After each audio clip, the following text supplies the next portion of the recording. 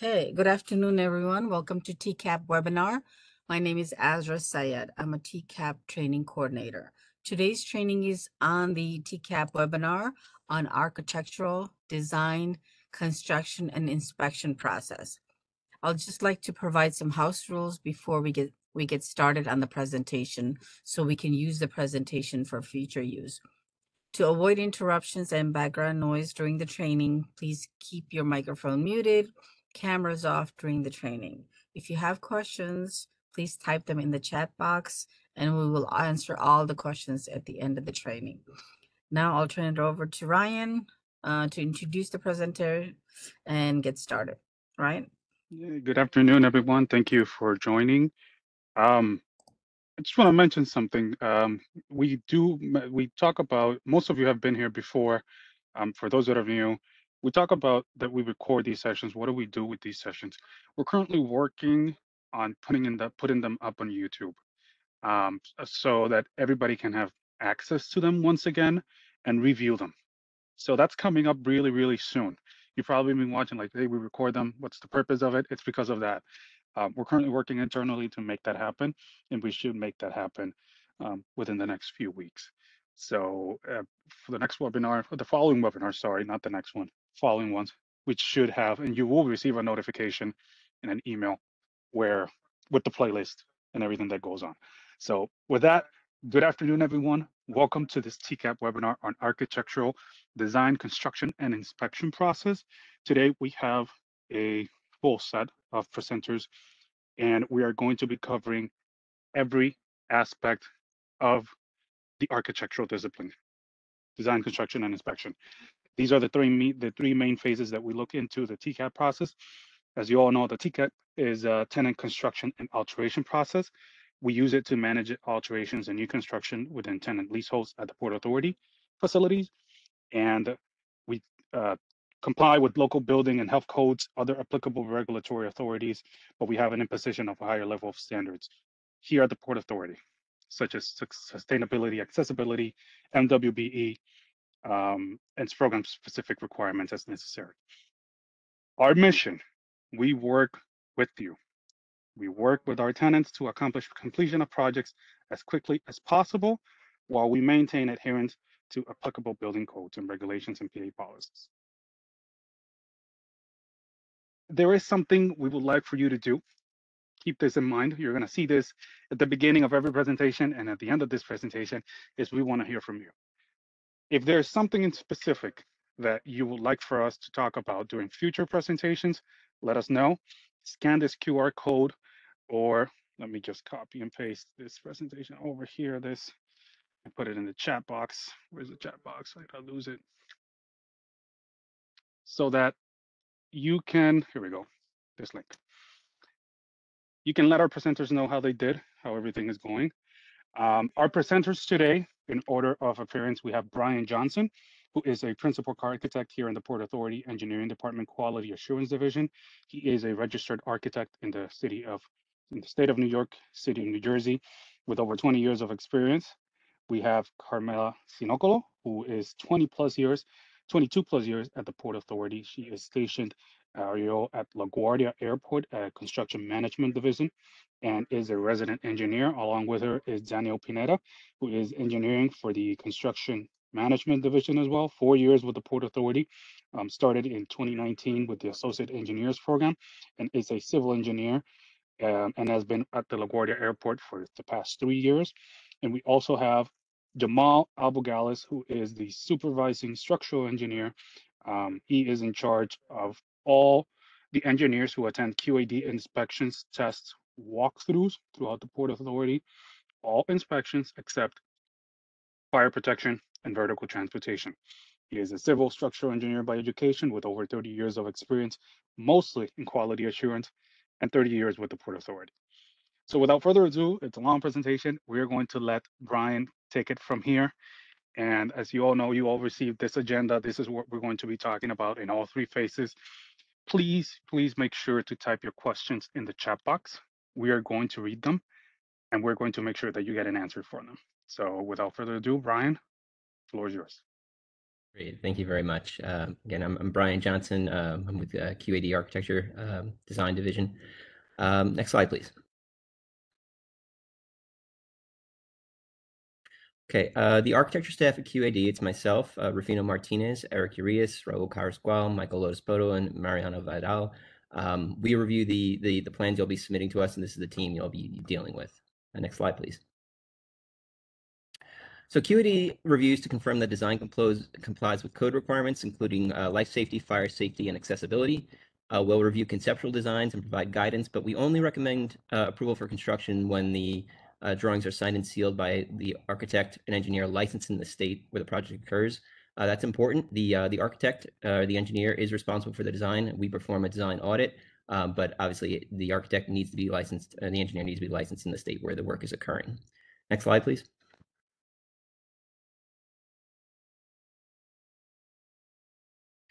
Okay, now why why we review for code? Um, so two examples. So if some of you may remember in the Bronx, there was a, an, a, an apartment fire, apartment building fire in 2022 uh, with 17 fatalities. Um, the fire started at the bottom floor, uh, the lower floor, maybe at the second or third floor, the bottom uh, band. Um, and then it spread the it, it, spread throughout the building. But in, and honestly, the it wasn't so much the fire. The fire stayed was relatively contained. It was the smoke. Um, and unfortunately, there were 17 fatalities where those those floors are at the top. Uh, people died on those floors, uh, and it was all smoke inhalation. Uh, the fire never got up there; it was smoke inhalation. And the primary uh, failure that caused not not caused the fire, but caused it to be so um, so deadly was door hardware. Uh, the the the door to the apartment didn't close like it was supposed to. It didn't latch. That let the smoke out into the the main hallway. Um, then the door to the to the stairwell didn't close and latch properly and let smoke into the stairwell, and then it was just a chimney. It kind of went up through the building, and then unfortunately on other floors up above, again the hardware didn't failed uh, also, and then the smoke got out onto those floors as well. Um, so it's it seems like it's a small detail, but it it, it, it it's an important detail. Uh, next slide, please. Another uh, fire. This was some of you may recall. Uh, this was in West London, the Grenfell Tower uh, fire in 2017 and there were 72 fatalities. Uh, now, in this case, the, the, the the reason why this got so bad was, was multiple things. Uh, they clad the building in in a combustible cladding. Uh, then there were either issues with how they installed the fire blocking or or how they designed it. Um, but basically, the, the there was a fire in one of the lower apartments. It spread out on the window. It got the cladding on fire, and then because of the gap between the the cladding and the main building, and either improper fire stopping, uh, fire blocking in the cavity or uh, improper design uh, basically created a chimney effect. If any of you ever had a campfire, the heat goes up, it draws air from the bottom, and it just went right up the side of the building. Uh, unfortunately, in this case, you can see the fire actually once it once it got out on the outside of the building, it climbed and it went throughout the building. So in the previous example was the smoke. In this case, it was obviously the smoke as well, but the fire actually spread. So you know, most of the Port Authority facilities were type one and two buildings, so it's non-combustible construction. You can see these buildings, they, they didn't, there was no structural collapse. The building stayed, the construction type did what it was supposed to, but because of the details of it, they still had some very fatal fires. Uh, and so it's the, the details that we'll look on, on, on finishes, as we'll, we'll speak about later, uh, become very important. Uh, next slide, please. So QAD reviews uh, the adopted building uh, to the the adopted local building codes, whether you're in New York or New Jersey, and also the Port Authority Tenant Construction Review Manual. Uh, it is a collaborative review process. The team that you that I mentioned in the first slide, uh, we work together. Uh, we'll we'll um, you know to make sure we're we're reviewing the things. you know, we'll run questions past each other if we have a question. we vet the comments amongst each other, so we make sure that the comments going out are saying exactly what needs to be said, so it's clear and concise and we'll also in the dispositions we'll give are either conceptual reviews which are for guidance a disapprove where there's something significantly long that might require a redesign conditionally approved where the the the, uh, the comments need to be resolved but you can start construction or full full approval when there's the um, no comments at all and that that is obviously the, the the desired outcome. Next slide please So what we review against, uh, the standards we review against in New Jersey, it's the 2021 International Building Code New Jersey edition, uh, also the Uniform Construction Code.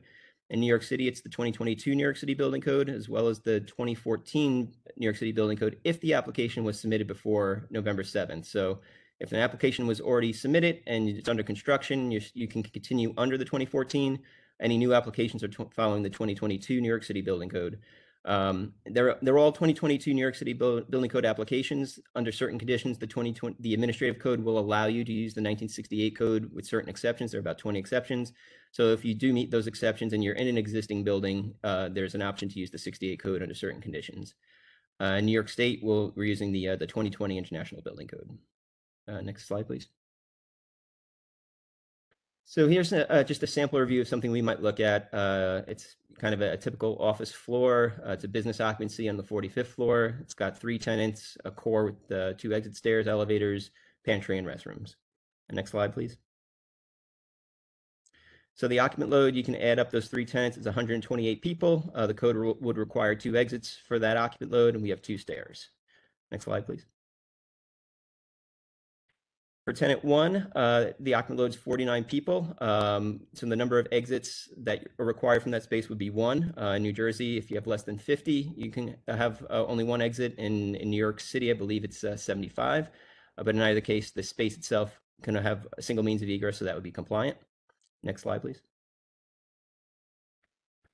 So uh, if you look at the slide here, we're on the 45th floor. Now, uh, the because the 45th floor would make this a high-rise building, the building code requires that uh, the floor be the elevator elevators be protected with an elevator lobby. Uh, in this case, there is no elevator lobby. Uh, the, the purpose of the elevator lobby is, if you remember from the previous slides, is very important to make sure that if smoke does get in from into the elevator shaft from a lower floor, that it doesn't spread throughout the, the upper floors. If it did get up in that shaft, theoretically, the smoke will be contained in the elevator lobby and not spread onto the floor. Next slide, please. So another issue that this creates is even if you put in the elevator lobby in this design, you'd still be, you'd still have not, that would create a non-compliant egress situation because as, the, as designed right here, both stairs off the floor have to, to get to them, you have to go through the elevator lobby. So if that elevator lobby is, is uh, filled with smoke, both stairs become non-accessible and that, that would be a code violation. Next slide, please. Another issue is the location of stairs one and two in this in this design. Um, the the code requires that for all buildings, if if you have two stair if you have any if you have stair enclosure that share a common wall, floor, or ceiling, even if they're two separate stairs, they're considered a single exit enclosure for purposes of the code. Uh, the idea being that if somehow that wall got compromised in some way, you'd lose both stairs simultaneously. Uh, in addition, uh, section 403 is specific for high rise. Uh, high-rise buildings have additional requirements where those stairs have to be separated even further. Uh, I believe it's a, a third of the diagonal of the, or 30 feet or a quarter of the diagonal of the floor. Uh, so as a high-rise building, those two stairs are too close to each other. Next slide, please. Another issue in this plan would be the design of the of this corridor here. It creates a dead end condition going to the restrooms. Uh, the code would allows a maximum of 20 feet for a dead end. Uh, there are certain uh, ex, uh, extensions permitted when the building's sprinklered. Uh, but but in general, you want to avoid a condition where someone has to go down a corridor. Uh, if they went down that corridor and then had to go back to find a stair, that's a dead end condition, and the code limits how far those can go. Next slide, please. Okay, so over at tenant uh, tenant number two, you'll see that uh, we're saying that there's a, a non-compliant condition where tenant two only has a single means of egress. Uh, and if you look at the occupant load, it's 49 people. You might ask, well, tenant one has 49 people. It was, it was okay for them. Why is it not okay for tenant two? Uh, but you'll also notice there's a room over on the right. It has another 30 people. So when you have a condition like that, where you know rooms open up on each other, you have to you have to add the occupant loads together. You add them together, you're at 79 people. Then the code requires two independent exits out of tenant two. So not only do you need two independent exits off the floor, you also need two independent exits out of the tenant space itself. Uh, next slide, please. So in this case, uh, also you see over at tenant number three, uh, they have 30 people, so a single exit is fine. But you'll notice the way this is designed right now, they have to cross tenant two to reach the exit. Uh, that's not permitted by code. Uh, you can't have one tenant go through another another tenant space to to reach an exit. Uh, so the way that that would be probably you'd resolve this is by extending that uh, central corridor over to tenant number three, so that each tenant has access to the public corridor. next slide, please. So we'll, we'll, review for egress. Uh, one of the things we review is travel distances. Uh, tra the, the length of travel distance you're allowed is based on the uh, use group and whether or not the building's sprinklered. So if you're in an office area setting, for instance, where you're more familiar with where the exits are, the occupant load's a little bit lower, you get longer travel distances compared to like a place of assembly where you might have a lot of people, they're not familiar where the exits are, those distances are shorter. And then in any occupancy, if sprinklers are included, you get extensions and travel distances because of the protection that the sprinkler system offers. Uh, for exits, uh, the three parts of the exits are the access, the exit itself, and the exit discharge. Uh, the access will be that portion of the uh, exit that we measure travel distance in. Essentially, it gets you from the occupied area to the e- fire-rated exit enclosure. Uh, the exit is the is that fire-rated exit enclosure. Uh, theoretically, when you're in that exit, you are protected from any hazards on the floor.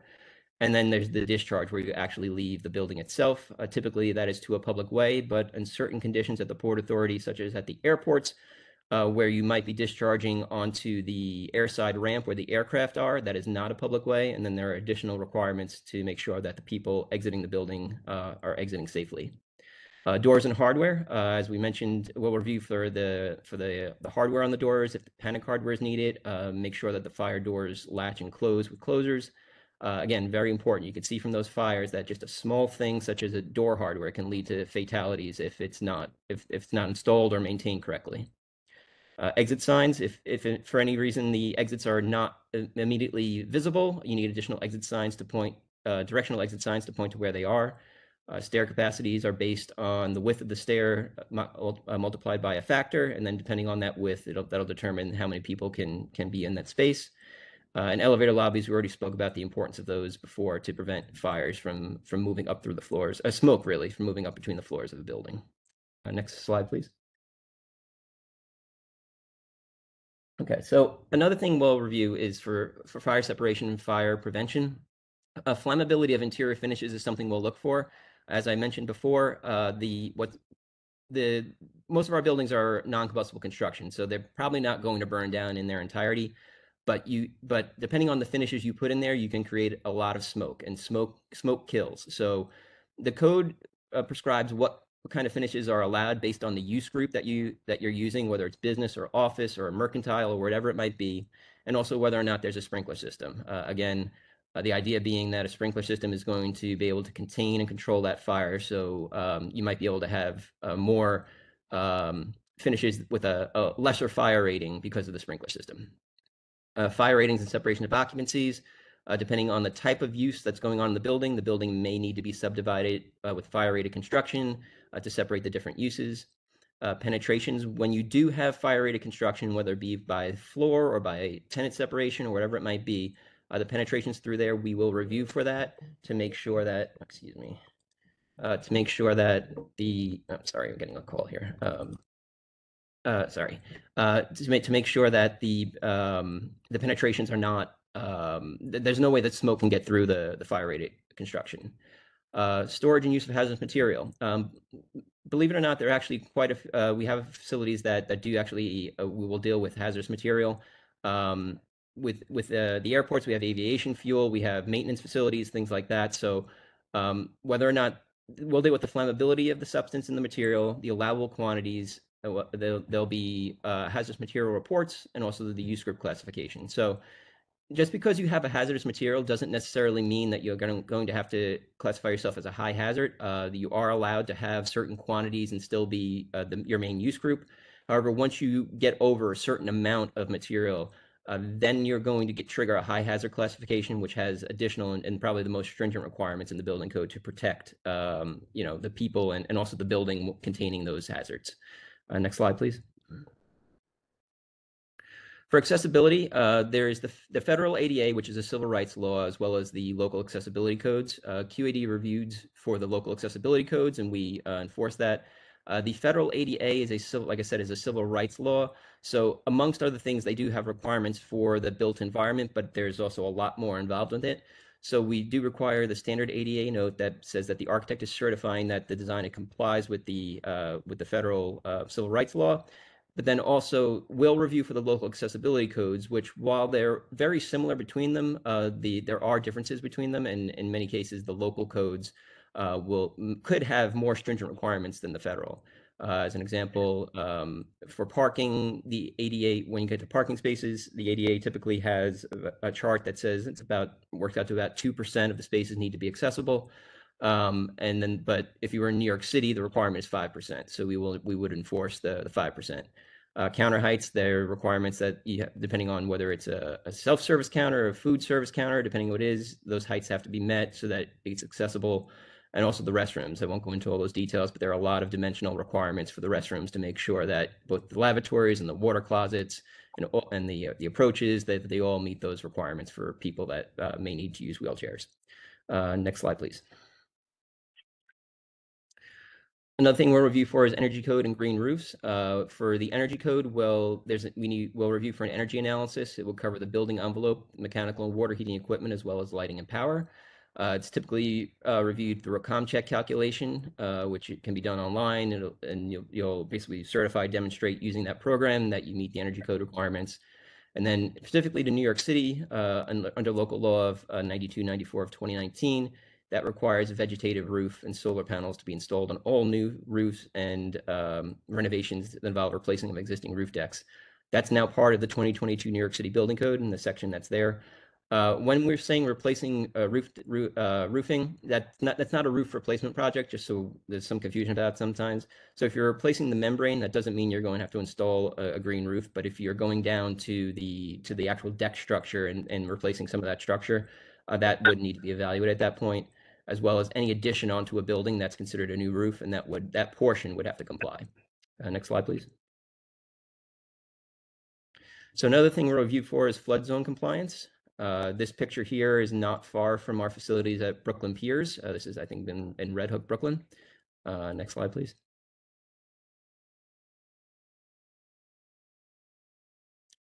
So for flood zone compliance uh, in New York State and New Jersey uh, versus New York City, um, for New York, New York State and New Jersey use the IBC, and they'll reference um, 2414 uh, for in, in- which deals with new construction, substantial improvements, and substantially damaged.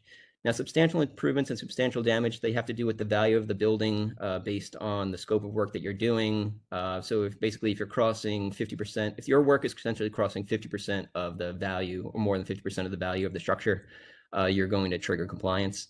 Uh, there are different flood zones based on the severity of the storm surge, which is often governed by the proximity to the water bodies, which kind of makes sense. The closer you are to the water, the worse the flood zone, the more restrictive there are requirements. Uh, AC 2414 generally requires structures to be elevated above the flood elevation at the Port Authority because of our location to the water. Um, but there are provisions to allow for uh, dry flood proofing under certain conditions. Um, and then there are provisions for protecting electrical, plumbing, and fuel and utilities that are located below the flood elevation, uh, which serve those buildings that are in the flood zone. Uh, next slide, please. In New York City, uh, they also use ASCE 24, but they also have Appendix G, which uh, um, enhances and modifies uh, the standard uh, flood uh, ASCE 24 significantly. Uh, New York City, it, it applies to new construction, substantial improvements, um, but it, it, uh, as well. But there's also requirements for horizontal enlargements. So if you put an addition onto an existing building, that addition has to comply with the flood code, regardless of whether or not the existing building does. That's different than New Jersey. Um, and New York City also has requirements for alterations that increase the degree of noncompliance in existing buildings. So if you have an existing building um, and you want to change the use of it, depending on what that change of use might be, that could uh, possibly uh, trigger a noncompliance issue, which may or may not be permitted. And also a lot of times finishes. Uh, if you have a space that's subject to flooding, uh, and let's say it's it's you know just a concrete shell, uh, you you will not be permitted to put in finishes that would be considered uh, non-flood resistant, whether that be carpet or gypboard or whatever that might be. That might have to be just thrown out after a flood condition. So something to keep in mind. Uh, the New York City Building Code generally permits structures to be located below the flood elevation, provided that the buildings are flood proofed. Um, now, dry flip proof to prevent water from entering. Now, when you, when we have those conditions, we require certification from the design professional uh, that identifies the compliance path that was um, provided and the certification that it meets those requirements. Uh, whether it be wet flood proofing, dry flood proofing, uh, is not going to review the details per se. That all the details will um, will be uh, flood proof. We rely on that certification, but we will uh, ask we will ask the AOR to confirm what that path is, and you know when we have doors and openings, things like that, we will ask for the details of how those openings are protected. Uh, we have there. New York City also has requirements to maintain egress under flood conditions. Uh, so it, it- you, if you're putting in flood logs and things like that, there you may have to put in temporary stairs to get up and over the flood logs. Um, you also might not be able to to lock the you know put the flood logs in such a way that you can't exit through from the building. And then also like New Jersey, there are provisions for protecting the electrical, plumbing, and fuel and utilities below the flood elevation. Next slide, please. For temporary construction, um, temporary construction is something that we we deal with a lot here. Uh, there's a time duration limitation. In New York City, that's 90 days, and in New Jersey, it's 180 days. Um, when you're when you're uh, if your project's going to if the build if the structure is going to be there longer than that time frame, then it's considered permanent construction. However, even if it's temp temporary construction, there are still requirements for life safety, fire safety, health, which is sanitary, and accessibility. So there's it doesn't mean that there are no requirements. There are still significant requirements that we'll review for. Uh, trailers, when they're occupied by people, trailers are considered buildings and must comply with building code. So, um, you know, when you get when you if you're purchasing a, a, a trailer and you bring it on site, uh, there are building code requirements for that. Um, we consider them, like I said, a modular building. And for when it comes to modular buildings, uh, those drawings are required to be signed and sealed by a licensed architect in the state in which the buildings are installed. So sometimes we'll get those trailers that are, uh, in, a lot of times they come from the south, um, and they'll be signed and sealed by the by the um, by the engineer that designed it. But we need someone that's licensed in the state where it's being installed uh, to sign and seal those. Uh, in addition, there are site-specific requirements uh, on those for those trailers. So the trailer itself might be code compliant, but then in terms of the site, we'll need to review the foundation, its proximity to adjacent buildings, accessibility. Very, there are a number of site-specific conditions that also need to be addressed when you're dealing with modular buildings. Uh, in New Jersey, the, the, there's also a modular building certification that could be by a state agency or by the Industrial Buildings Commission. Um, but again, site site specific uh, installation must be demonstrated to be code compliant as well. Next slide, please. So the keys to success is to ensure that the application documentation is complete prior to submitting. Uh, that's very important because if it becomes incomplete or not quite there, QAD is going to make a bunch of comments. You'll have to respond to those comments. We'll have to respond to the responses and it'll just slow things down. So to just make the application as, as complete as you can when you first submit it to us, um, when that's done, we can absolutely work closely with the design team to resolve comments quickly. Uh, the goal must always be to achieve full approval, and condition approval should only be granted on an as-need basis under unusual circumstances. Um, our goal is to get full approval as, as quickly as possible for you so you can build. Uh, we don't we don't want to be in your way, and we don't we you, you guys know how how to do your design. We we want to just make sure it's code compliant, and then you know you're on your way. So that's our goal. And then there's a, uh, a dedicated project management team that will, is, will be available, avail, excuse me, available to you to review and, and, assist in the best way possible. So when you submit to us, uh, we'll have a, a, project management team on our side that you'll be able to, uh, through the through the facility, be able to reach out to us and, and, and get in touch with us for any questions you might need. Next slide, please. So our review process, we have conceptual and preliminary reviews. Those are high level audits, kind of like the 30, 60, 90% uh, level and those are there to find the showstoppers. We're not going to give you all the details, all the detailed comments, but if there's anything significant that might require a redesign, that's where we try to flag it as early as possible uh, so that uh, it can be addressed before the construction documents get too far developed. Um, once you receive comments from us, there's also an interim audit process. Uh, those are expedited reviews. We can work through the comments efficiently and effectively, and we'll actually hold the disposition, like the formal disposition, until we achieve uh, no further comments. Uh, and it, it's it's sort of a way to kind of help to speed things along if that's something you'd, you'd like to, um, to, to to partake of. Uh, so rather than having to go through that formal process of submitting all the forms and doing all those things, uh, we can work quickly with you to try to get those comments closed. Uh, next comment, uh, next slide, please. So key takeaways, QAD's goal is to facilitate safe facilities and successful construction projects, but we can only achieve this when our, ourselves, the facility, and the design team work together as a team to identify and resolve the issues. Uh, we protect the public by ensuring compliance with life safety requirements. Uh, we protect the Port Authority by minimizing liability for non-code compliant conditions. And we also protect the architect, architect and engineer by identifying any potential code deficiencies so they can be corrected prior to signing off on the job. And I think with that, that's my time. So thank you. Thank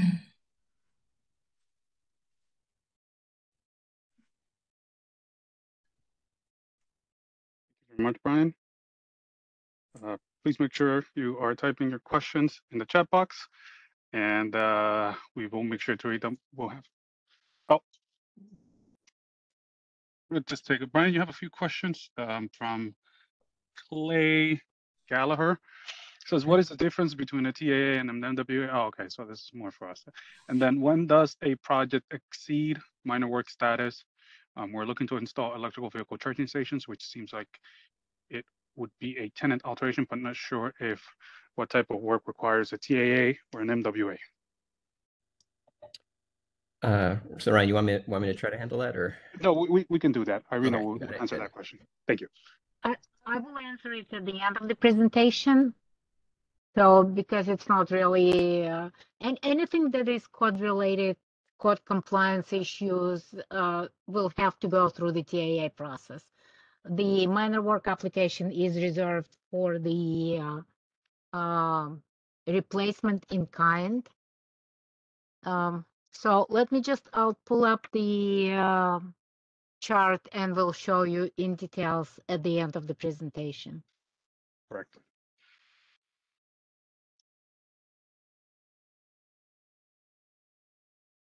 Okay, let's continue on. Um, please type your questions in the chat box and we will make sure to read them um, once our presenters are done to answer them appropriately. If not at the end, um, we will stop the recording so that you can open up your mics and ask the questions directly to them as well too. So Carmela, the, the floor is yours. Thank you, Ryan.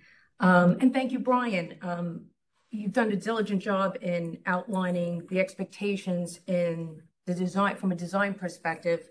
And, uh, that could hopefully lead the team to a conditional approval or what we recommend highly is a full design approval. The resident engineer's office plays a critical role throughout the TCAP process. Uh, so once we get that either conditional approval or full design approval, we become the primary point of contact from uh, construction to pre-construction meeting to closeout. Go to the next slide. Yes, I'm going to go there. Thanks. So I want to um, continue, I'm sorry. So once we get uh, to that conditional approval, thank you, I was just going to say, next slide, please. We're going to outline the roles and responsibilities of the resident engineer's office. So we are a critical part of the process. We are the primary point from the pre-con to closeout. Um, we are a partner throughout the process with the various stakeholders as well as the Port Authority facilities and the coordination of any kind of utility shutdown.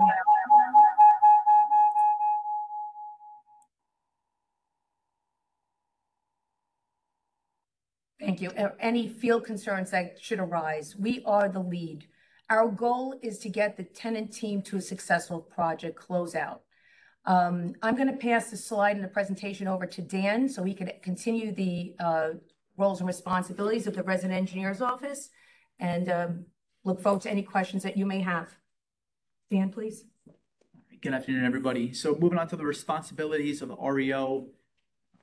We audit and monitor the tenants, contractor, and the AEOR for conformance with the PA-approved contract documents, specs, permits, and any applicable codes, and of course, adherence to the TCAP procedures.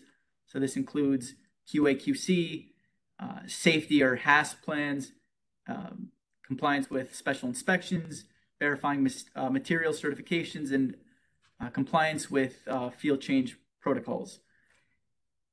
I would like to just in, in, you know, emphasize that we are, the resident engineer's office are the boots in the ground, on the ground. We're there day to day monitoring the tenant's contractor and the activities in the field. So the expectation is that we're a partner. Any issues that come out in the field, we're there to assist. Continue, Dan. REO will confirm by verifying in the field that the work being requested by the AEOR is complete prior to scheduling a PA inspection. We will coordinate and schedule the inspections once the work areas are complete. We review the AEOR certification request packages and any supporting documentation uh, for completeness, and this includes special inspection reports, any uh, test reports, and uh, all the AEOR certification documentation, which we'll get, uh, we'll move into later on. The REO issues inspection minutes after each inspection, noting all the deficiencies and verifies, tracks and verifies that all the deficiencies are resolved. And we will process all the required documentation to the tenant coordinator for issuance of a temporary or final certificate of authorization to occupy. So during the design phase, we're, um, we're trying to, uh, ensure that the, the design is put together in such a way that it becomes a phased construction. So the request for a temporary certificate of authorization use is already by design approved on, on the initial uh, design submission process before it gets to pre-con. So the, so the milestones are already set, so it simplifies the process of achieving the goal for occupancy as per the tenant's request. Please continue. Move to the next slide, please. So to add to your point, Carmela, about the design, the, the goal of the design phase is to develop a complete design that's code compliant. And one of the one of the ways that we do this is that the tenant and the AEOR must conduct a site visit prior to the contract document submission. And the purpose is to identify existing conditions, both above, below, and on site. The items that they would look for on the site visit include egress space, any obstructions, access to nearby utilities and tie-in locations, and presence of hazardous materials. So the REO actually reviews the contract drawings. We look for constructability and to get an understanding of the scope of work. Some of the items that we look for include partition types and fire ratings. So all proposed and existing partitions within the scope of or limits of work should be identified as fire rated or not and what that rating is. And it's important to know that while you're designing a rated wall uh, where another tenant is occupying the adjacent space, that also should be uh, reviewed and vetted to make sure that that rated wall assembly is properly designed. So don't just look in your in your area. Sometimes it affects the adjacent area too. So that's critical, and we find that um, uh, numerous times to be a nonconformance later on during inspections. Please continue. Right. So we look for completeness of the drawing. So all the details for each condition. This includes all partitions and ceiling types, top and bottom of wall details, a detail for fire, all types of fire resistant joints and penetrations. It's not a one size fits all. So the different types of uh, fire resistant joints and penetrations should each have their own detail in the drawings, and they should be UL listed details. And any unique conditions should also be identified in the drawings. So this would include existence of expansion joints, any large ductwork that could become an, an obstruction in the field, or any openings through the floor. Um, we also look to see that all the emergency lighting is identified. Egress paths and widths should also be identified, uh, and signage as well. All required special inspections should be listed on the drawings and it should match the special inspections checklist submitted by the design professional prior to the pre-con. The REO will monitor all design comments until they're resolved. And we recommend that the AEOR identify in the design phase if the tenant is envisioning to do a phased occupancy so that we can prepare and plan for it later on. And the goal is to receive a no further comment design determination prior to the pre-construction meeting. And the reason why the no further comments is so important is because the work is considered work at risk when it goes into construction. So if the contractor, the general contractor is performing work on uh, open rider comments, it becomes work at risk. And should any deviation from what they're building in the field changes from the actual resubmission and approval of that element of work, we are not going to schedule any inspections until that rework is complete to match the approved drawings. So I just want to emphasize the importance of getting to that no further comments versus doing non-conformance work.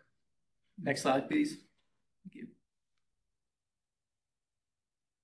Next slide. Thanks. Moving on to construction or phase two. So while the uh, design documents are still being reviewed, we can actually, as soon as a contractor is identified, we can begin working on putting together the pre-construction documents that are required for a meeting. Um, in order to, to schedule a pre-con, all the pre-con documents must be received and approved, and the design must reach at least a conditional approval. Uh, the pre-con discussion, topics of discussion will include any open rider comments and a path to no further comment. The general contractor's schedule, where we'll review milestones, any critical inspections, um, Grand openings. and any grand openings, go live dates. We'll review uh, permits for the uh, construction scope of work, required special inspections, any operational requirements or coordination with the facility. Uh, we'll go over site-specific safety plans, the AEOR and contractor responsibilities and expectations, if there's a change to the design professional throughout the process, and we'll also review the inspection process to successfully achieve closeout. And I can't stress enough that the AEOR is ultimately responsible for the TAA. And so at the pre-con, uh, we allow them to discuss the scope of work, any critical elements of construction. We should review the inspection strategy and if there's any phase occupancy. And the AEOR is 100% responsible for the work and inspections. If there's a complex project that may require multiple inspections, we can schedule at the tenant's request an inspection process meeting where we would get all the PA groups together and review the expectations and requirements of each inspection. So consider fire alarm tests, any, um, if there's a, a food or health safety inspection required for any concessions. Uh, these are all, or vertical transportation, these are all um, inspections that, that we'd be able to schedule a meeting to review. Uh, construction progress. Once the construction actually starts, the AEOR is expected to ensure that all the elements of work are complete prior to requesting an inspection. The REO simply monitors and audits all of the field work, including the third-party special inspections and building system tests. The REO will also verify all materials used on site match the PA-approved contract drawings. So this can include checking the gauge sizes on metal framing and seismic splay wires, verifying gypsum board uh, for um, to be moisture resistant, fire res resistant. All lumber should be fire retardant and include the fire retardant marking indicating such. The cove base should match the uh, approved detail. FRP wall panels typically to be installed in any kitchens and tempered glass. And these are just some examples of uh, what types of materials we look for on site. And I would like to add that although the REO, we monitor the field work, it is ultimately at the discretion of the tenant and their engineer record to be engaged in the field as often as they see necessary to ensure that the third party is performing their, their special inspections, that the work is being performed in accordance to those approved, Port Authority approved drawings. REO's role is to monitor it. Engineer Records' role is 100% responsibility of the work. I just want to re-emphasize that. Right. And with that being said, we also ensure that all work is complete, matching the latest PA approved drawings, and it should be free of any deficiencies prior to re requesting an official PA audit inspection. Next slide, please. Okay. Uh, first and foremost, all work is to be installed as per the PA approved contract drawings. Um, with that being said, in REO's experience, we're going to go over, we put together a compressed list of typical architectural deficiencies that we typically see in the field. So this can include compromised or incomplete fire stopping assemblies. As mentioned, each fire stopping assembly uh, should correspond to an approved detail on the drawings, and it should be a UL listed fire stopping detail. Sometimes in the field, if I, I'll give you an example, if there's an electrical conduit running through a fire rated wall, um, a lot of a lot of times people might see red and think that the fire stopping is complete. But again, we have to make sure that the we have to make sure that the installed uh, condition matches the detail. So that might include uh, installing a sleeve and fire stopping inside of that sleeve.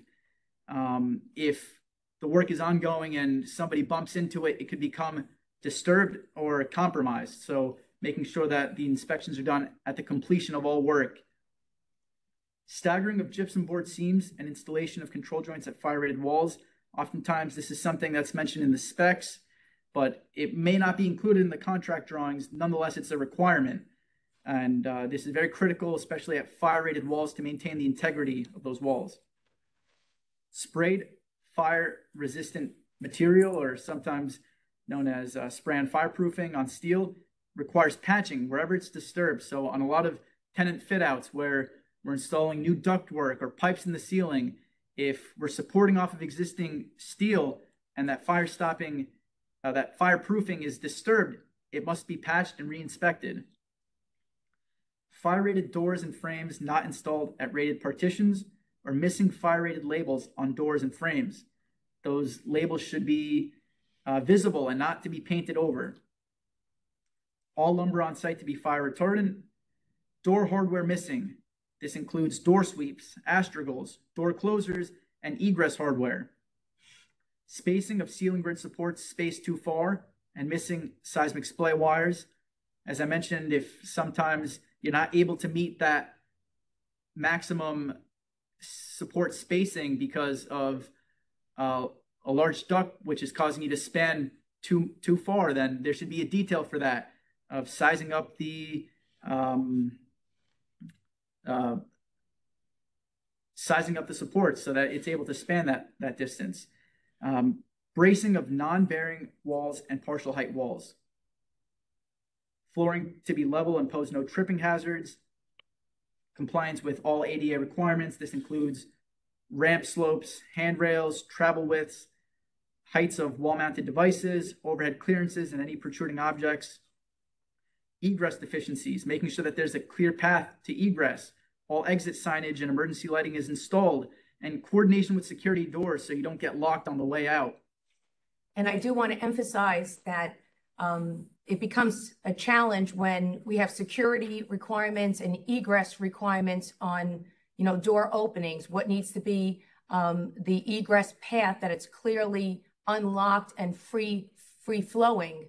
And uh, at times we see that uh, that's missed in the field. So just understand that egress trumps security. So take that into consideration when you're designing and you have these two elements that um, this is properly coordinated.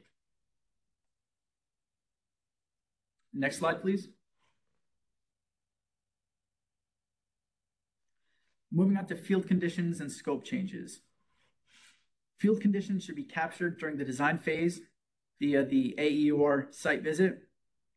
During construction, the REO must be kept in the loop if there's any field conditions that would or a scope change.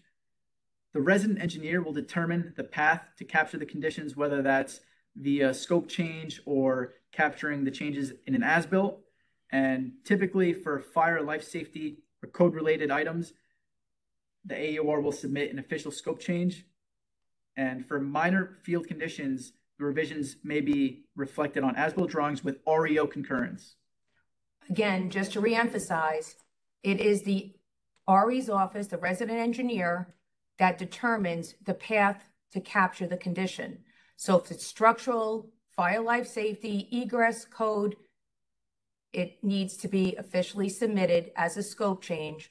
And the tenant coordinator is a, a plays a, a key role in assisting the RE and the designers to make that submission uh, to QAD for additional review.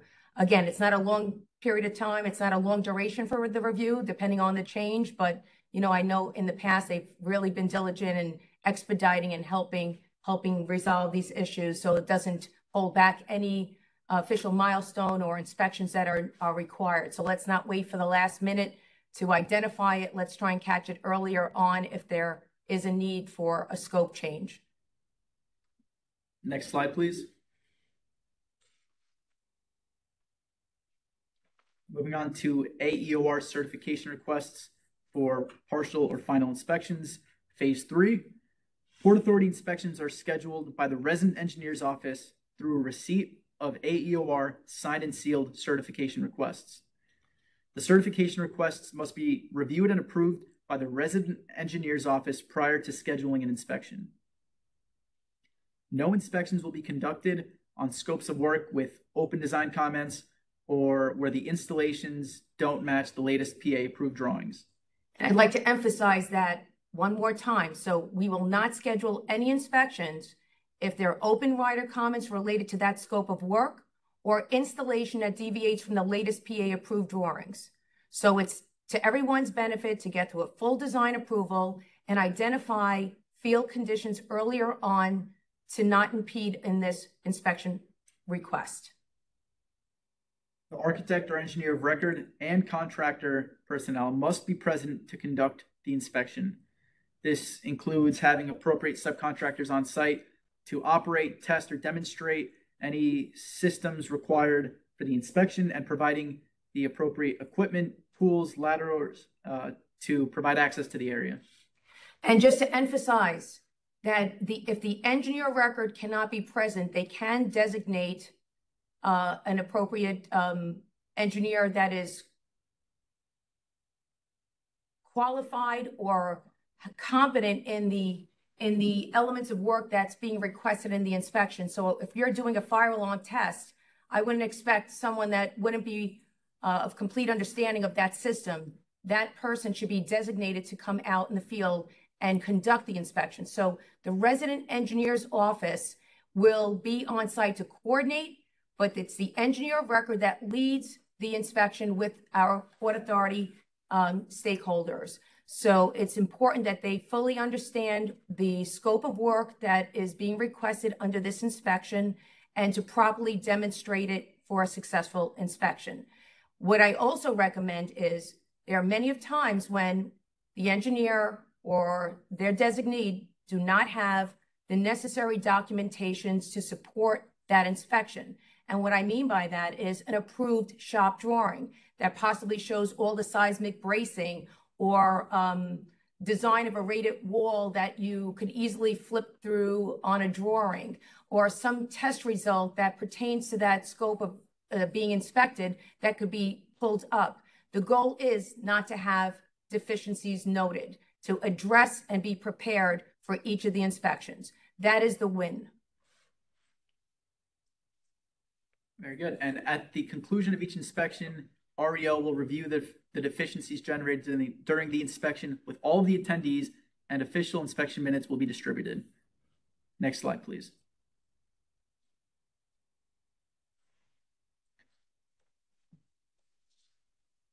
So AEOR certification requests for partial or final inspections consist of the following items. An AEOR cover letter to request a partial or a final inspection. A PH 212 for a partial inspection or a PH 314 for a final inspection as, as applicable. Um, a sketch showing the area being certified. Um, if, if the portion of work being certified can be explained and identified in the contract drawings, then a sketch may not be required. And if a sketch is included, it should have a sketch number, a unique sketch number, the TAA number and title included, a date, a legend identifying the area or the scopes of work being certified, and the AEOR professional seal and signature. A special inspections checklist should be provided with all the applicable special inspection reports and test results. Record drawings are required for a final inspection. Next slide.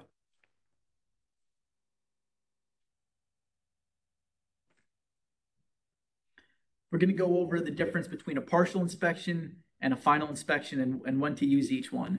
A final inspection is used when all of the work for the entire TAA is complete, while a partial inspection is used when all of the work in a specific area is complete. So for a partial inspection, sketches can be used to outline the scope of work or area being certified, and it's not required if it can be clearly identified. And this would be helpful when we have an approved design by phased construction. So if you're calling out for a partial inspection of a specific area and it's called phase one, for example, we would only, we wouldn't need a sketch. Your PH 212 would be as simple as all work related to phase one. So that phase one, as approved on the drawings, would encompass all that work. It'd be very straightforward and simple, and we highly recommend that the design follow a phased construction to close out. Exactly. And a partial inspection can be one of two types. It can either be for occupancy or not for occupancy. So a partial inspection not for occupancy is used when a partial inspection or an inspection is required for an area that's going to be that where you're going to lose access. So think of an in-wall inspection or an above ceiling. Um, these are all areas that have to be inspected for the closeout of the project, but you may not be requesting uh, occupancy of a space. Whereas a partial inspection for occupancy is when beneficial use is requested. And again, this should be identified in the design phasing plans. So think of a TAA where you have two separate rooms and one is ready while the other is still under construction. You would call for a partial inspection for occupancy for the one room.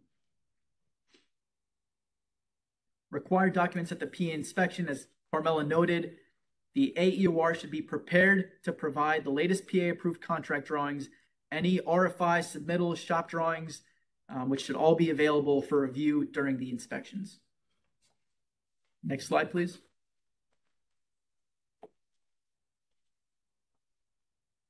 So lastly, we just want to review the key takeaways and the tips for success. So in the design phase, we always want to strive for full design approval prior to the pre-con, which will avoid field issues or delays in scheduling PA inspections later on in the project.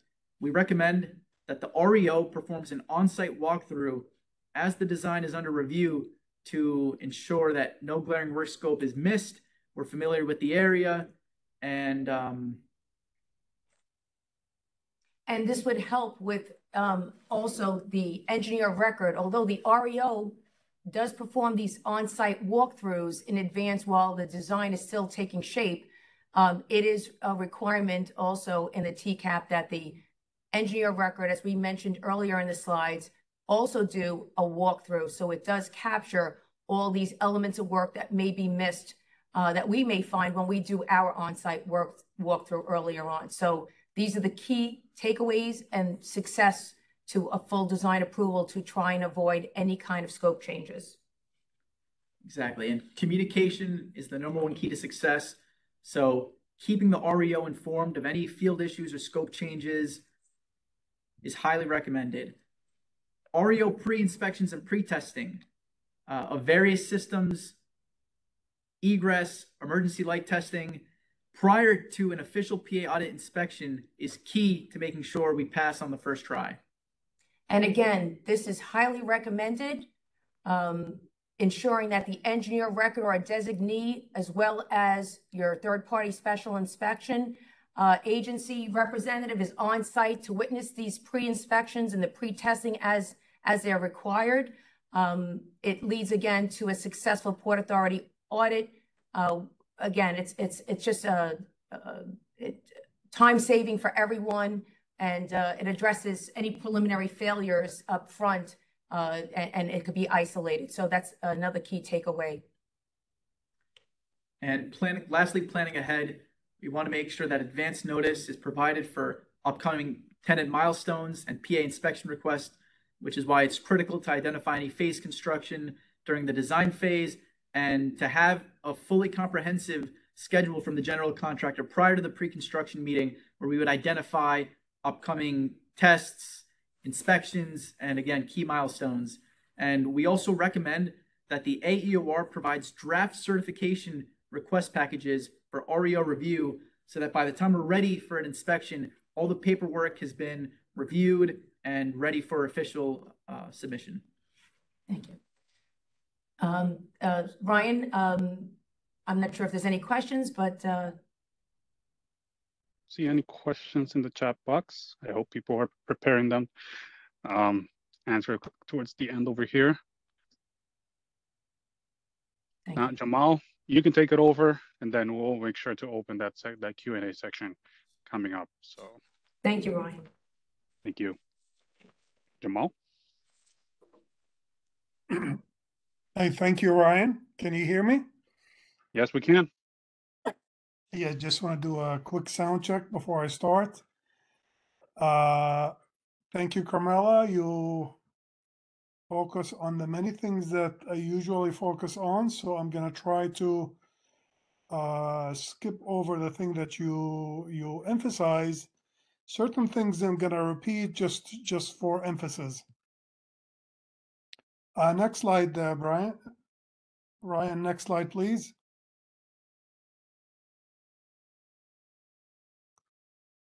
Uh, uh, this is a this is a slide I call inspections, and I list the different type of inspections that we expect the engineer of record to attend and perform.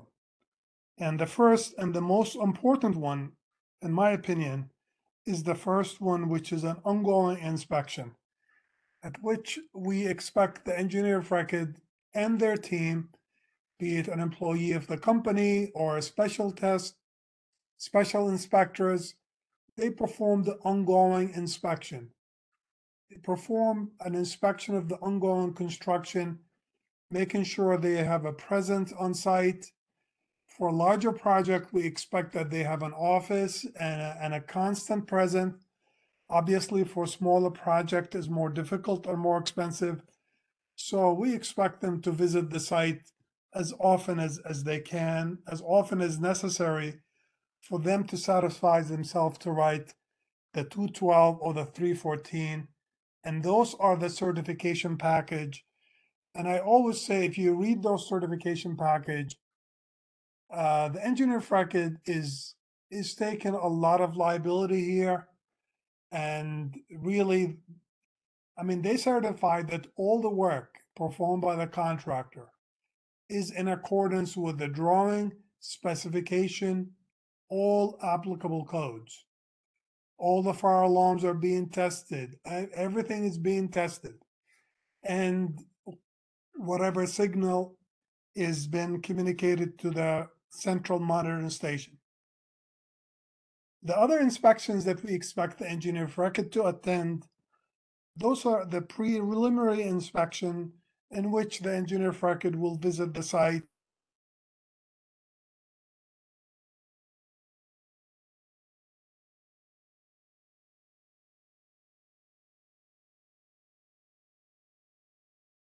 Uh, Jamal? Seems we may have lost connection with Jamal.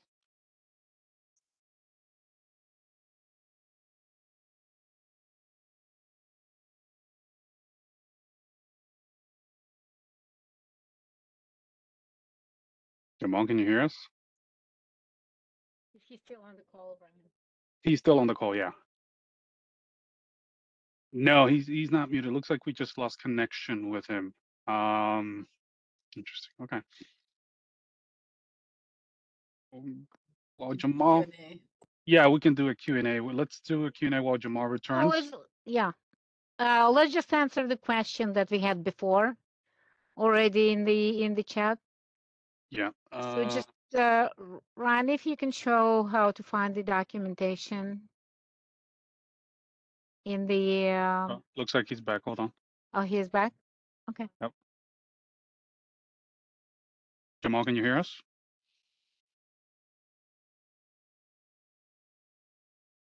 Let's give him a second or two because I see he logged in probably from his phone.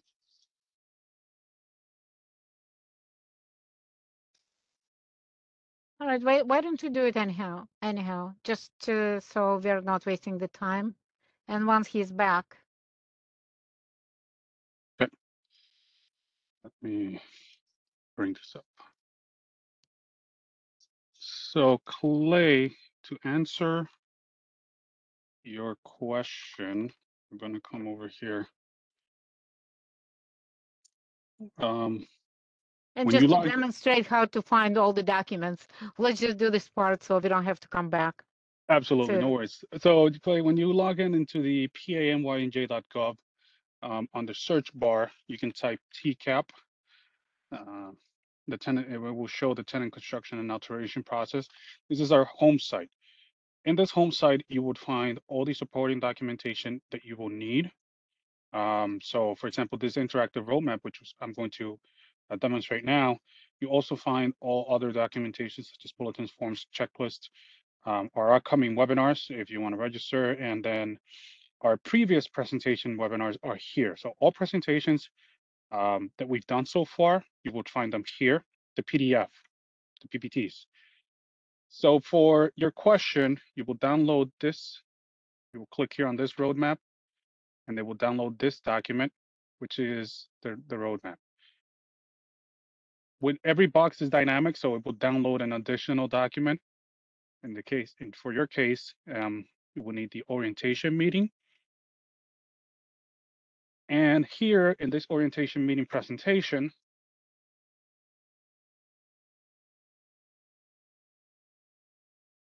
let's go down to, basically just talks about us and the TCAP process overview.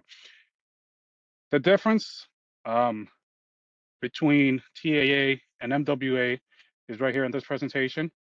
Um, basically, the TAAs is used to follow all construction and alteration work that involves cold issues or impact of any life safety systems such as fire protection systems, ventilation, egress, facility structural integrity, or hazardous material. The minor work does not involve any code issues. It's a little above the regular routine maintenance, but um, that's why we require the minor work application. Ryan, if you can just go back to the uh, even even before that slide.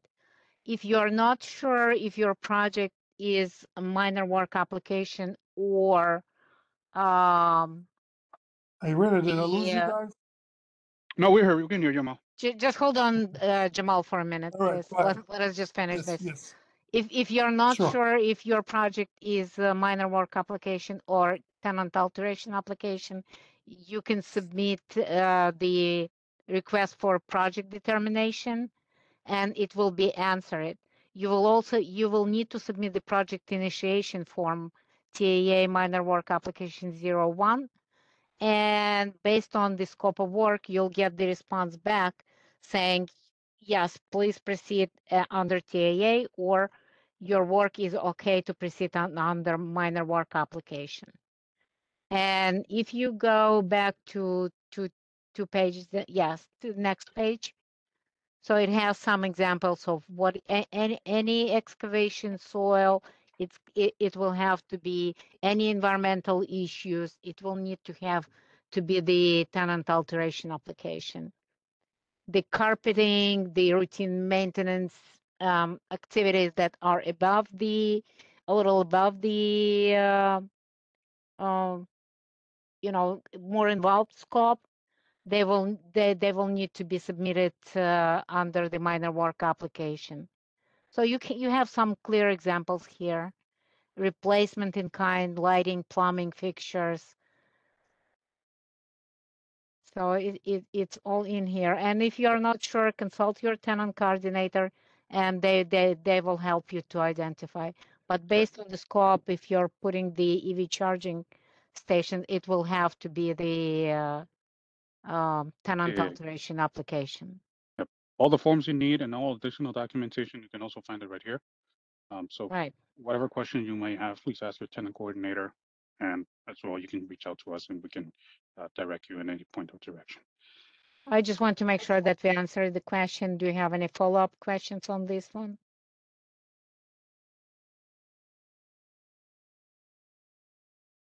All right. Jamal, welcome back. Thank you. Go to the next slide, please.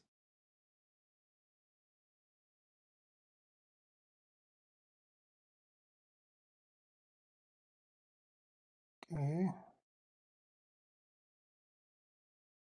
Uh, uh, this is, uh, I think, a, uh, uh, Carmela talked about inspection hierarchy, so I, I don't want to take too much time here. I just want to emphasize one thing. Uh, the inspection uh, responsibility lies in the in the in the ins- lies with the engineer records team and only with them. Port Authority does not perform any inspections, uh, not QAD, not REO. We only do audits and uh, just verification of of life safety elements. The hundred percent inspection is a responsibility responsibility of the engineer of record. Uh, so I, I just want to really emphasize that, even though Carmela talked about it, and and and Dan, I believe, was with her. Uh, next slide, please. And I believe that the next slide was also covered well by Carmela, which is a listing of all required documentation prior to the inspections. Uh, I'll go through them very quickly here. The cover letter, certification, which is uh, 212 or 314 for partial and the final. A sketch if necessary, and that sketch I want to just re-emphasize here. If if it's if it's necessary, must be uniquely numbered, must be signed and sealed, must be dated, and include a TA number, and must be referenced on the certification letter. And of course, you have the special inspection checklist and the special inspections themselves and the record documents. Next, please. Uh, The next slide really talks about uh, and next slide talks about inspection scheduling and design comments. And also Carmela talked about that.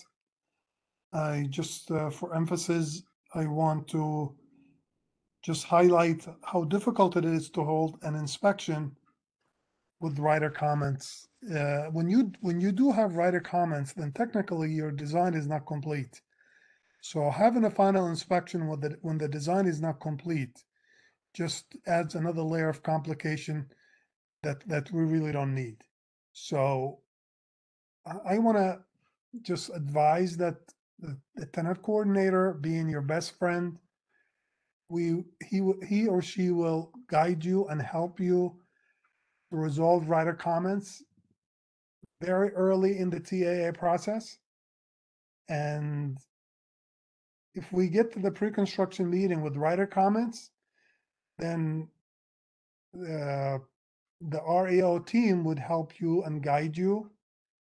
And uh, here I want to say that if, if there's a writer comments that you don't know what to do with, you're not sure what it means, uh, the design standard unit, which is our sister unit, will be more than glad to meet with you and explain to you uh, what it means and the type of uh, the, the type of code that that that we believe you're violating. So uh, we we you know when if we get to the inspection phase of the job, we will not eh, we are not going to accept any inspection requests for TAAs with the writer comments remain to be resolved. So that is uh that that's the decision we made. We just we're not gonna we're not gonna attend any finals. Uh, we we will attend partial if the T if the if the writer comments don't relate to the work that's being inspected. But uh, if the, if the writer comments affect the work being inspected, uh, we, we- we're gonna refuse to attend the, that inspection. So please uh, understand that, and uh, and uh, uh, so please uh, go to go to the next. Uh, I'll get another phone call. I'm sorry, but uh, go to the next slide, please. I'm just I just uh, switched it off.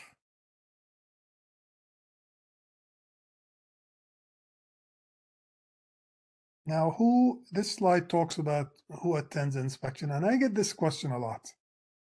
Who should be at the inspection? And from the Port Authority side, we know who, who needs to be there. REO, QAD, and, and other necessary stakeholders depends on the scope of the job. But from the tenant team, we like the tenant to be there, and more importantly, we like the engineer of record to be there. Okay, engineer of record must attend and and must be ready to answer questions, which mean it must be somebody who's familiar with the TAA. And I think Carmela alluded to that too. Uh, we need somebody that can answer question. If there's deviation from the TAA scope, from the DA, TAA installation, we need somebody who can answer that. Why did you do this instead of what's the drawing call for? Uh, so, and I'm talking about, you know, little deviation. If there's minor deviation, there's another process for that. And we're going to talk about that in, in, the- in the few slides ahead. But uh, if there's an engineer of record that's present that can answer question that may arise during the final inspection that help the final inspection move quickly and it it it may save us from writing comments if the engineer of record have a good answer for why he did what he did. So so the first is the engineer of record, second is a contractor. You know, he or she's the one who's going to present the project to us, subcontractors if necessary, if there are tests like fire alarm and, and so he can reset things and that kind of stuff. Also, contractors should be should be ready to present the job with any tools required, if there's ladders required, lifts, whatever it takes for us to to see the project and and assure ourselves that that the project was built in accordance with the drawings and specification and meet the codes. Uh, and and sometimes the tenant may have to make some announcement if there's fire alarm test to the building occupants. So that's that's that's another that's why the tenant may need to be there. Uh, next slide, please. So this is the that's the team basically that we expect to see at the final inspection. Uh, the other question that I get a lot is what what do we look at during the final inspections? And uh, I want to start by saying that we only look at the code related items and life safety elements. We are not, uh, it's not like we don't care, but uh, we we don't we're not interested in in in the elements that are not life sa- safety. If we got somebody else, we'll we'll look at them. That's as as a as an architect, as a tenant, you'll look at whatever color that you want to make, whatever carpets, whatever tiles. We are focused on the life safety elements, and the first thing we focus on is egress. Egress is, is in my opinion, is the most important thing in an architectural uh, in the architectural field. So the egress is comprised with with many little different elements, such as the egress path being the dimensions and and the and the distance. Uh, we look uh, at the exit signage, make sure they're clear and they point you to to the right place and they're not confusing. They, they, there's no exit signs that conflict with each other. Uh, we look at the egress path, as I say, and we walk it. We walk from from the furthest point in the in the in the in the office or in the terminal all the way to the stairs and all the way down the stairs. Uh, we look for emergency lightings. Those are maybe tested at night, but we we either attend those or we look for reports. We look at the stairs, the doors, the hardwares of the stairs, uh, how difficult it is to open the stairs. Does it open the right direction? Uh, and we take it all the way outside to the to the to the sidewalk or to the safe dispersal area.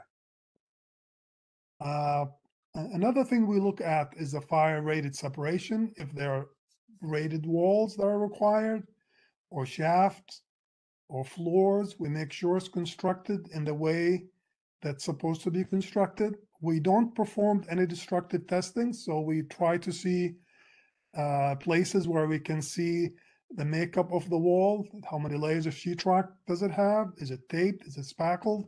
Does it have, uh, you know, penetrations and, and all of these things?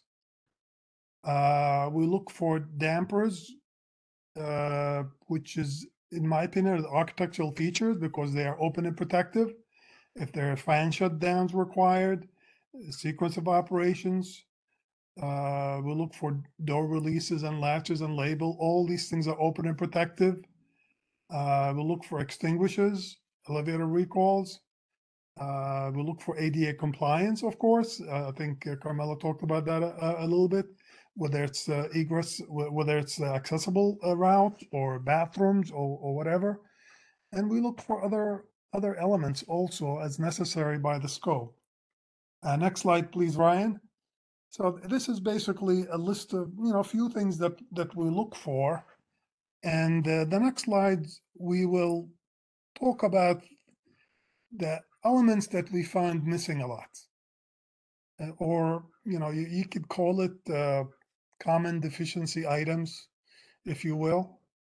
And uh, here I have them listed here, and I'll go through them.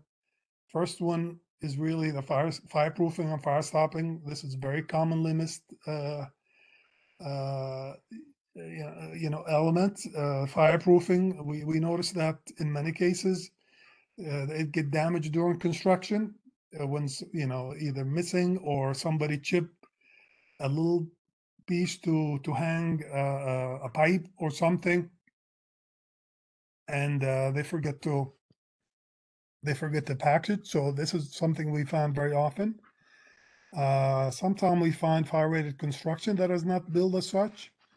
Uh, we find that rated walls may not go to the ceiling and rated walls with a lot of openings shafts is a commonly missed thing uh, elements. Uh, fire stopping is another very, very common uh, deficiency. Uh, all fire rated walls, any penetrations that you make through them, whether it's a floor, wall, or you know, or stair shafts, uh, we expect that be fire stopped with the same rating uh, assembly that that that that it deserves. Uh, hatches we found that if you have a rated ceiling for example and you you're required to put a hatch in it to access uh, something above the ceiling whether it's a fan or or ac unit in many cases we found that those those hatches are not rated or not labeled. Uh, and if they are uh, you know if they are you know if they're rated obviously they have to be rated but if rated if the ceiling is rated so, and we expect to have that, uh, that have a self-closing device, which is like a spring, to make sure that it doesn't stay open. Uh, another common, commonly missed item is, is, uh, fire-rated doors don't have labeled or they have labeled that's painted over. Uh, and uh, obviously, if you have a rated door, it must have, it must close and latch by itself. So it must have a self-closing device, it must latch, and it must have a coordinator if it's a double leaf with an astragal. Uh, again, we talk about the egress path here. We, we, we, we found a lot of common deficiencies in the egress path. Sometimes it's not clear. The lighting may not be sufficient. Uh, the stairs, the way that the doors to the stairs, the, the dimensions, sometimes they're off the swing of the door, the hardware, sometimes they aren't, they're non-compliant. And as I mentioned earlier, we, we take the egress every exit route. We walk every exit route in the building, and there may be dozens of those. And we take it all the way outside. Uh, we pretend we passengers if it's an airport, and we just take it all the way to the outside, and and we check for all the elements that are required.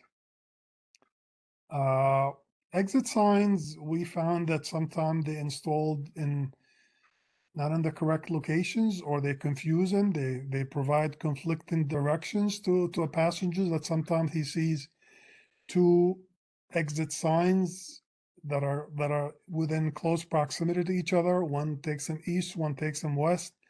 So we expect that the engineer of record uh, do his due diligence to make sure that they, they are they are clear. Uh, another common things we found that the exit signs may be uh, may be blocked by furniture and things of that nature. So we, we look for the exit signs to have an obstructed view, and uh, we make sure that it that it is, in fact, fed from an emergency circuit. Uh, emergency lighting is another thing that is part part of egress, and uh, we look at we looked at the requirement for the egress path, which is usually higher than the requirement for throughout. Uh, so we test those and uh, we take the reading. We make sure that they are they are compliant. And uh, the ceiling construction, sometimes we found deficiencies in that in the supporting system. And uh, the light fixtures, sometimes if they're above certain weight, we found that they're not supported inde- independently as required by code. Next, Ryan, next slide, please. So th- these these are common items that we find, and uh, there is a more complete list which which is uh, on eNet. I think uh, everybody can have access to that. I just put the the the very common ones here, and just to continue with that list, there's a few more items here. Uh, signage and distraction band uh, on the glass partitions in the lobbies. We found that very often they missed. And, uh, you know, the ADA compliance, we talked about that, uh, whether it's in the bathroom, accessible route, we, we also walk it. We make sure that, that all the slopes, uh, are in compliance. We make sure there's no, uh, you know, anything that's, that's required, that, that, that it is installed. And, uh, uh, dampers we find very, very, uh, too many problems with dampers we found and uh, we look for for certain things in dampers and uh, eh, we start doing certain things to eliminate to eliminate those uh, deficiencies in dampers uh, and what we do now we, we we perform walkthroughs early in the process to make sure that you know once you finish your first or second damper that we put eyes on it and we make sure that it's it's gonna it's gonna pass our you know our tests. Uh, but generally for the dampers, we we're really not looking for anything more than than what's required by code. We make sure that the damper is in the right location. Uh, we make sure that the openings around the dampers is, is framed as required by code. Uh, we make sure that the size of that opening is is in compliance with the with the manufacturer's instructions. Uh, and it's it generally relate to the length of the damper and the width of the damper. Different manufacturers allow different things, but you know, you don't want an opening that's too big or too small. Uh, another thing we look for, we make sure that the blades are in the plane of the wall being protected. Uh, we make sure that there's ID tag on the damper with the unique identified permanent uh, label. This way, this damper can be can be referenced easily if there's a, a problem with it, if there's maintenance, uh, whatever. So it's it's easy to get to that damper. Uh, we look for the breakaway connection, which basically keep the damper in the wall in case the the the, the, the, duct fall. We look for the retaining angle and where the number of screws and the, and the, the whereabout of those screws are are very critical. We look for access doors, which is important that we can inspect the damper and uh, damper can be reset, can be worked on. And uh, the last thing, uh, you know, this is a mock-up which is not necessarily built for us. The mock-up, don't don't misunderstand me. A mock-up could be the first production damper that that that you build, and you present it to us uh, for examination. Before before you build, you know, 20, 30, 40 other ones, and and we found issues with them. So this is a service that that we offer. Uh, you know, the minute you finish one damper or two or three, whatever, maybe you want to one from each kind. If you have a floor dampers, if you have a wall dampers. Uh, so you present it to us in, in an inspection format or walkthrough format, and and we'll inspect it and we'll critique it for you before you build others. Next slide, please. Uh, so that that really eliminated a lot of the the damper issues that we used to have in the past. We used to have a lot of problems. Now we are we are much better uh, with with the with the dampers than before. And before I leave the dampers, I, I want to make sure that I communicate this with you. Uh, uh, dampers are listed devices, so the manufacturer tested them in a certain installation procedure, and uh, the word of the manufacturer it carries a lot of weight with us. So uh, if there's any deviation from the installation of the damper, you know, we'll, we'll tell you get that manufacturers to accept it, or give you um, or give you uh, if let's say the damper is at the not on the the plane of the wall, for example, it's off by a few inches. So we tell you to contact the, the manufacturers, be it Ruskin, Imperial, whoever, and, uh, and they will, they will tell you how, how, you know, what to do in this circumstance, what you need to do. Sometime you wrap it, sometime if it's small enough, they'll tell you it's good as is, but we need something from them to, uh, to tell us that this damper is, is, is in compliance with the man, with their instructions. Uh, here, and I notice we don't have a lot of time, so I'll go through quickly. Uh, after the inspection, we, uh, with the, with the leadership of the REO, will, will, uh, gather all comments from all parties and, uh, will electronically distribute them or load them into a system that, that everybody, uh, that everybody can access. And, uh, we expect the engineer record to answer and, uh, and verify their completion and invite us for a retest. Next slide, please.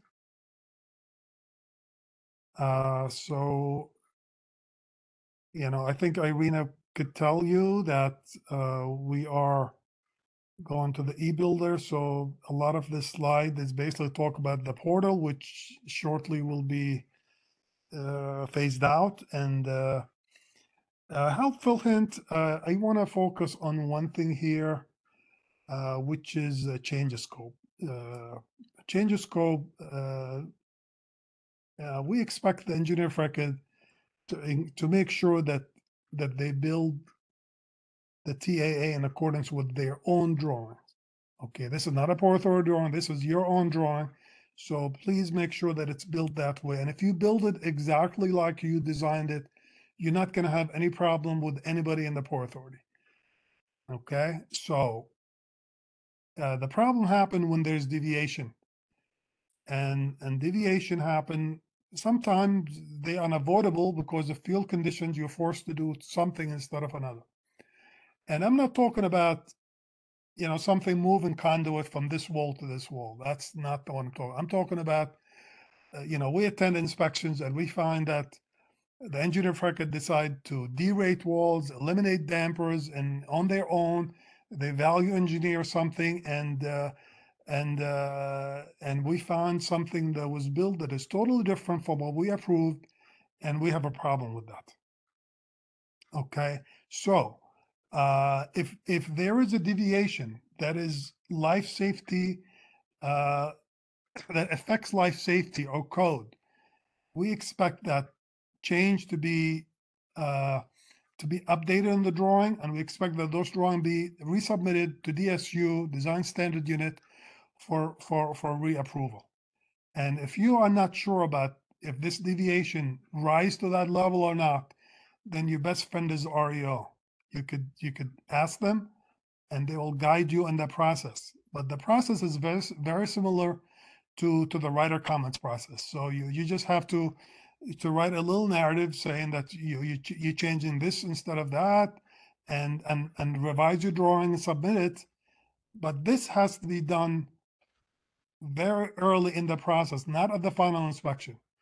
If at the final inspection you're ready to occupy tomorrow or or next week, there's no time to do all of that. Uh, the first, the minute that you discover that you have to deviate from the drawings, is you call the REO and and and and, and advise them, and they and they'll guide you through the process. Next slide, please.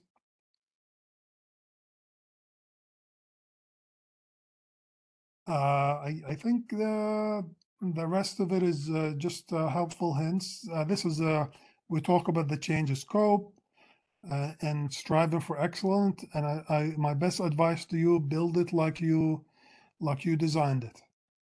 Uh, sometimes it's it's it's not worth it to deviate from from the design. It's it's gonna it's just gonna cost you more money and more headaches to to to resubmit things. It's gonna delay your process. We try to we'll try to you know to to give you an answer as soon as we can. But sometime uh, during the final inspection, really it's not the time to discover that you deviated, you derated walls, you eliminated dampers, you changed your egress from from you eliminated an egress door. This is not the kind of things that that that that we really can can deal with during the final inspection. It's too late it's too late for that. Uh, next, I believe this is the last slide, and uh, you can op- we can open the floor for any questions. I'm sorry, Y- it Yes, ran a little long. no worries, no worries. Um, we can go ahead and stop the recording now. And we want to ask